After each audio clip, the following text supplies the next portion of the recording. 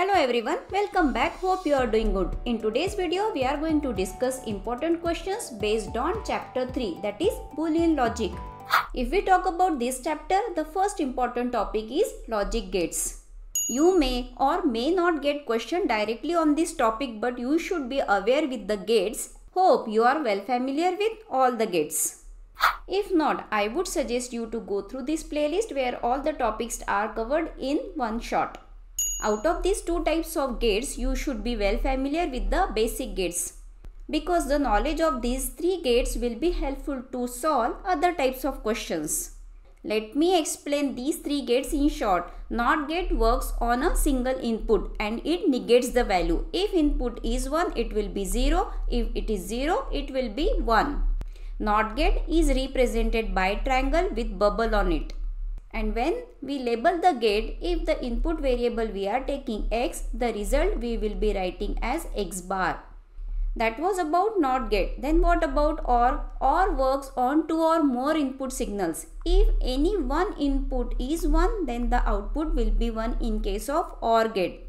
Which symbol is used to represent OR gate? We can remember it like a lotus petal and let's draw the input it will take minimum two inputs and produces a single output if we are taking variable x and y as input output we will be writing as x plus y now it's time to discuss AND gate. AND gate also works on two or more signals.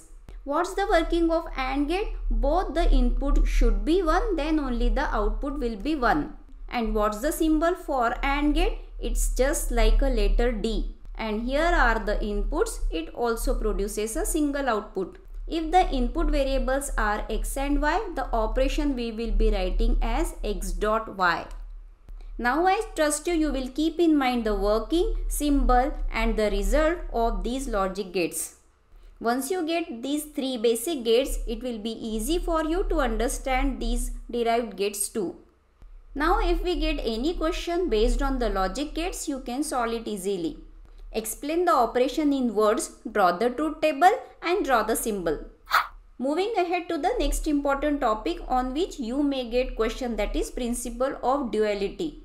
What does it mean? It's very simple. To find the dual, we will be changing OR sign with the AND sign. And if you have AND sign, that you will be changing with OR symbol. And what if you have zeros and ones? Zero will get replaced by 1 and 1 by 0. Now let's try to solve one question based on it. We need to find the dual of the following. Let's solve it step by step. In bracket we have a complement. It will be as it is. It is followed by dot. Dot means and. It will get replaced with or. First we will concentrate on the gate. Then we will replace ones and zeros. After the bracket there is plus. Plus means or. It will get replaced with and. In the second bracket there is a B complement. It will be as it is. Dot means and it will get replaced with or. 0 I am placing as it is for now equals to 0. In the next step I am gonna replace 1 with 0 and 0 with 1. So it will be A complement plus 0 dot B complement plus 1 equals to 1. In this way we got the dual. It's so simple. I hope you understood the concept. Now let's try to solve the second one. In bracket we have A complement or operator will get replaced with AND. Then B complement. We could see one more OR operator that will get replaced with AND 1 equals to 1. In the next step we will take care of zeros and ones. So A complement dot B complement will be as it is followed by dot 1 will get replaced with 0. In the same way this one also will get replaced with 0. In this way, we got dual for this question too. Alright then, let's move ahead to the next topic. Here are some basic theorems of Boolean algebra. You need to go through it because you will be getting question based on it like state the law and prove it. You may think there are lot of laws and you cannot remember all those laws but believe me they are very simple. Most of the laws you might have studied in maths the only difference here we are applying it on the boolean value. And if you want to attempt this question, you must remember these laws. Moving ahead to the next category of questions. In the first one, you need to evaluate the boolean expression using truth table.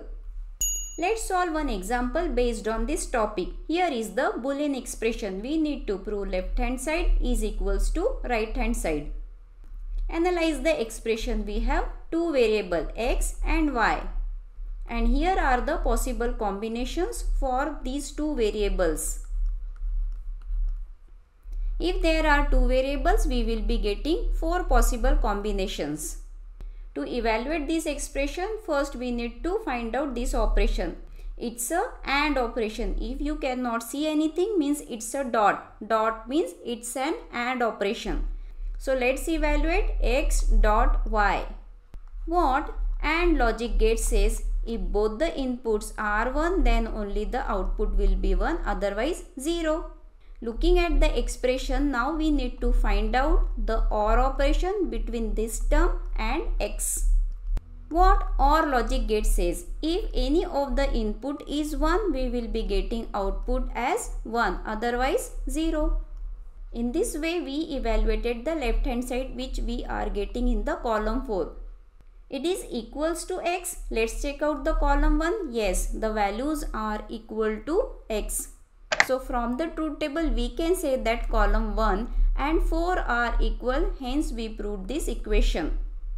Now what's the next category of the question? We need to design logical circuit for the given boolean expression.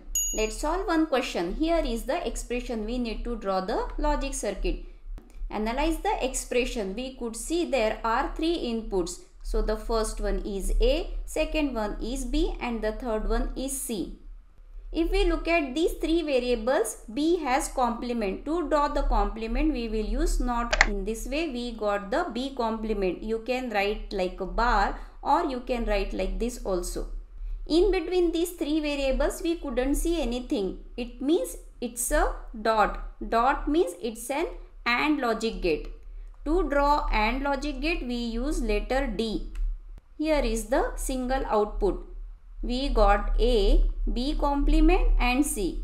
Now let's look at the next term. There are two variables C and B. But C is complemented means we need to draw not logic gate with C. In this way we got C complement and here it's a B. In between them we have AND logic gate. So let's draw the D. Here is the output C complement B.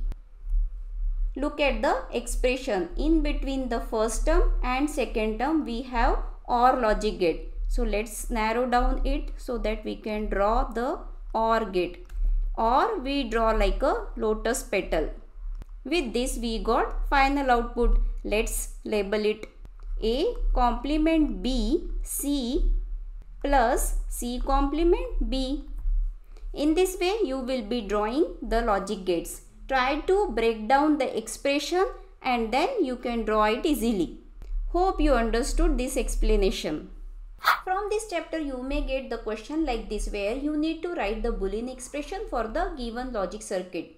So here is the question. We need to find out the boolean expression for this corresponding logic circuit.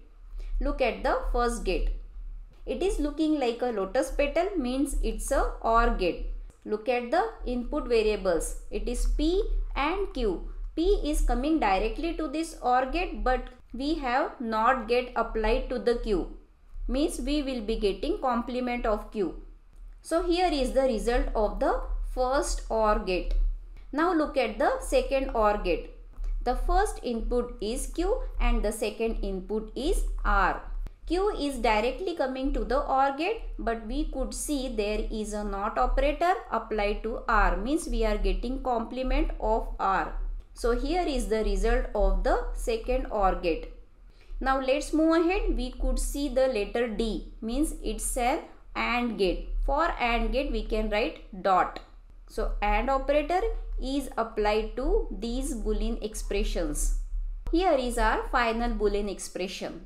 Hope you understood this concept. That's why in the beginning itself I told you you should be well familiar with these basic gates because we will be using it in the different questions. There is one more important topic in this chapter that we should not miss that is De Morgan's law. There are two De Morgan's law. One is for OR logic gate and the other one is for AND logic gate. We know how to keep this in mind break the line and change the sign. So you may get the question just like this where you need to state the De Morgan law and verify it using truth table. So let me explain how to solve this question. First you need to state the law. Here is the first De Morgan's law. Now it's time to prove it using truth table.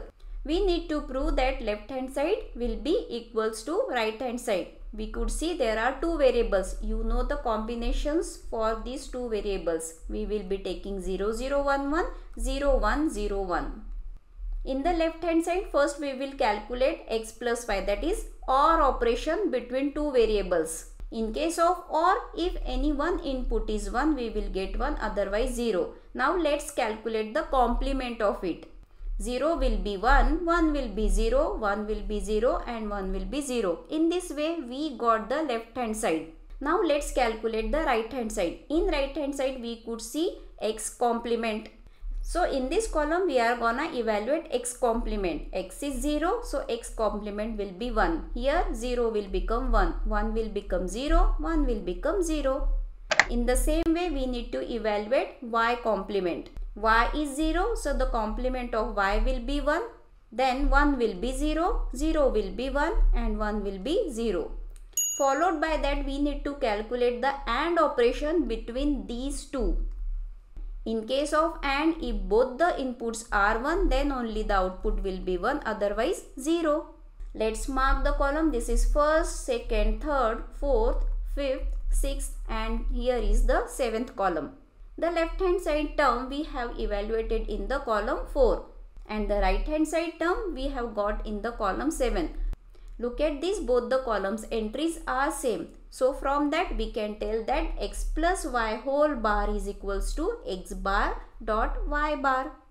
If you want to prove the second law, you can apply the same concept. Hey, that's a wrap for today's video. In case of any doubt, let me know in the comments. If you found this video helpful, do share with your friends. In the next video, we will be covering important questions from the chapter number 4 that is Introduction to Problem Solving. So until next time, stay curious, stay healthy. I will see you in the next video.